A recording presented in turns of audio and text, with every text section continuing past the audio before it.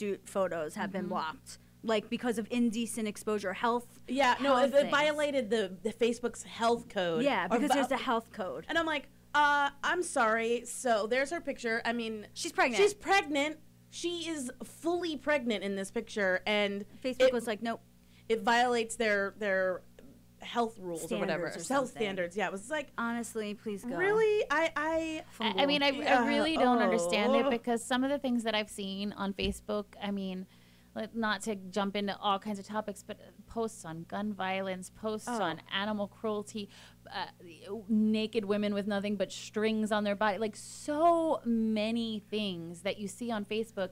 And then Yeah. a woman in her, a, a pregnant woman in her bathing suit Yeah. Gets There's taken down. somebody up in there that is like really fat phobic.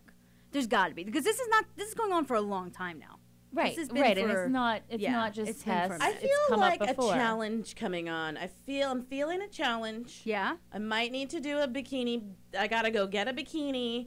I gotta do it. And I gotta do it. see I'm just gonna see be what like, here's my chub. And you better let's like see it. it. You better like my chub Facebook. And let's see it. May I'll put on a little you swim know dress. that's that's actually a with a pretty cute coverall. That's a pretty cool idea. I mean, we'd have to get a hashtag together. What? yeah. Hashtag I'm I'm with Tess. I'm with Tess. yeah. For serious, I'm willing to start that. I think. but that's you won't great. do a bikini bathing not a suit pic. bikini, no. Or how about plus this Facebook? Oh yeah. Oh. plus this Facebook winning. winning. Hashtag winning.